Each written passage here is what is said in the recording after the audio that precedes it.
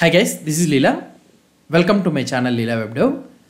In Angular 18, we'll try to learn about the activate child. The activate child guard, so let's try to see one by one about this one.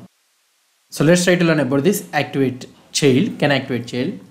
So here in, act, in Angular 18, the can activate child guard is used to determine if a route's child routes can be activated or not. It's similar to activate, but it specifically guards the child routes. So activate guards the single route only, whereas the activate child guards the child routes of a parent route. You would typically use this guard when you want to apply a security check or permissions, validations to a parent level to control access to all of its child routes. So for this one, what I will try to do is I will try to show you the step-by-step -step example for this one. So how it can be used. So for example, let's say that um, here we are having the simple example. I will try to take the simple example for this one. Let's say this is our auth service. So here I will try to have a uh, has permission. Okay. So let's try to check whether we have a permission or not. And what I will try to do, I will try to return the true. Okay. So that means it has a permission. Now I will implementing the can activate child here only. Export constant has permission guard. Uh, we can write whatever the name you want. You can write it here. And this one it is of type can activate or otherwise if you want to check it means you can also have uh, separate uh, file also you can have it. So here I have given auth guard right. So here I can check that a new file uh, has permission guard so you can you has you can have whatever the name you want you can have it this is the name and export constant has has permission guard and which is of type and this is of type can activate child. So this should be can activate child function. And this one will take here. It's a method. And here I will try to inject the auth service. Auth service is equal to inject of auth service okay? And here I will try to use so auth service we need to inject that one angular core it will be fine and here I will be injecting the router also. Constant router is equal to inject of router. So I can inject the router also. So that's it. So we have injected the router and all those things. Now what I want to do it is so here if auth service dot has permission if it has a permission means then I will return the truth so that automatically the children will be open. And if it doesn't have means so what I will try to do so I will navigate router dot navigate to something else URL I will do it. So something like uh, slash no permission or no access anything any URL if it exists for you. And I will return the false to here. That's it. So this is our has permission guard now if you want to check for this one, for example, let's say that we are having the route section, right? So this is our total route section.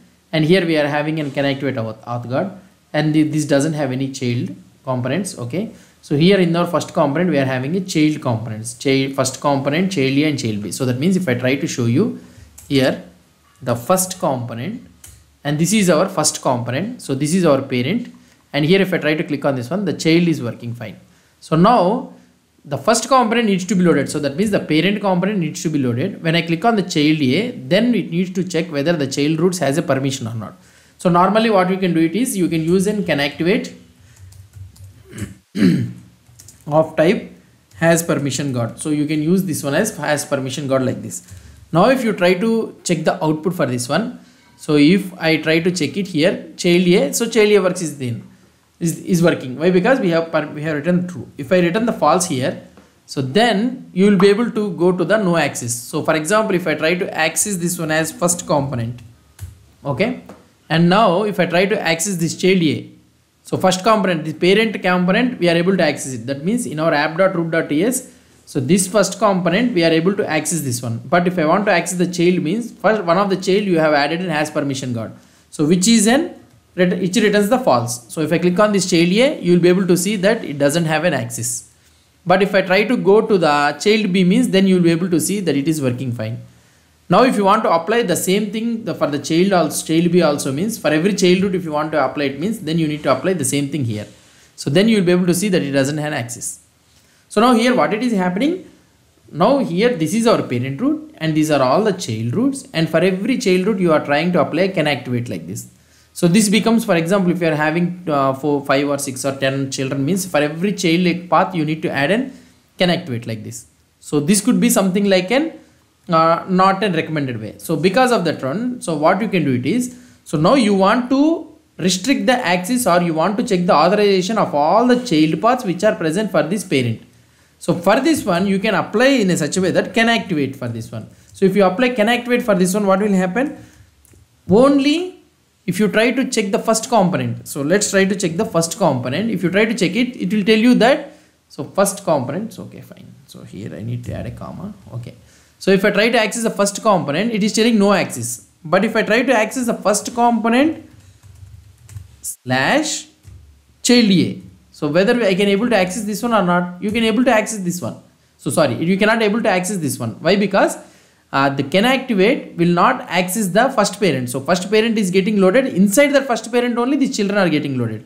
So you cannot able to access this parent route and also the child route also you cannot able to access it but I want the parent route to be accessed but only the children route should be checked means then I can use can activate child here instead of this one I can use the can activate child now if I try to access the first first component so here I will be able to access the parent route but when I am trying to access the child means I cannot able to access it.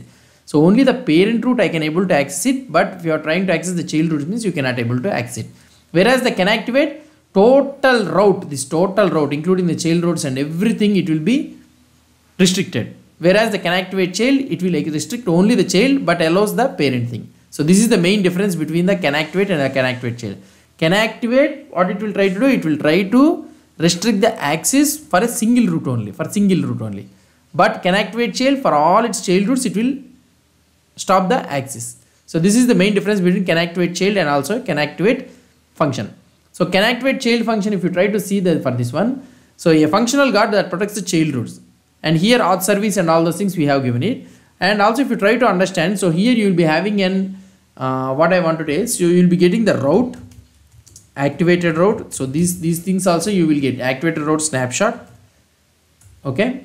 And also the router also you will be able to get. Router router router state snapshot so maybe i'm thinking of something like that so now here there is no need for us for this router let's try to see okay this snapshot means it will not work so these things also state also you will be able to access it so that is a different thing so i don't want to uh, do this one all I don't want to show this one also. This is the latest thing. So we are implementing the functional based instead of the class based in Angular 18. Fine.